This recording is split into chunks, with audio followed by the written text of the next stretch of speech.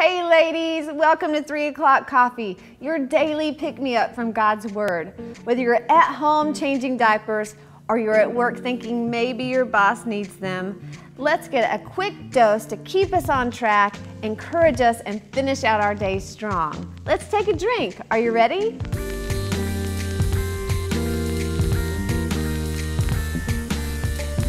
We all have those fun songs that we get to sing that make us look ridiculous with our kids, right? Or maybe we're working in children's church, we have to get outside of ourselves. I remember this song.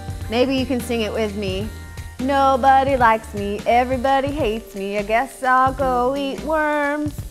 Big fat juicy ones, itty bitty sweetie ones. Oh, how they wiggle and squirm. Something like that, right? You sang it with me. You know you sang it with me. Well, sometimes we can sing that song in our head, huh? Life's getting us down. We feel like, oh, everybody hates me. I should just go eat worms. We feel sorry for ourselves. We're in the middle of a pity party. Well, guess what? Ephesians 3:20 says, "Now to him who is able to do exceedingly abundantly above all that we ask or think according to the power that works in us." In us. The power that works in us.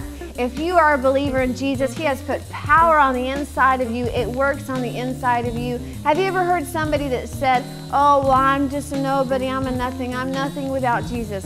Good news, you're not without Jesus. If Jesus is living on the inside of you, you're not without him. You're with him. And so this word is true for you that he can do exceeding abundant above what you ever thought or imagined things in your life.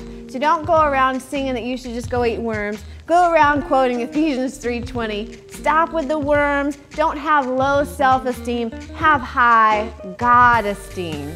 Whatever you're going through today, know that God is for you and you can do all things through Christ who strengthens you.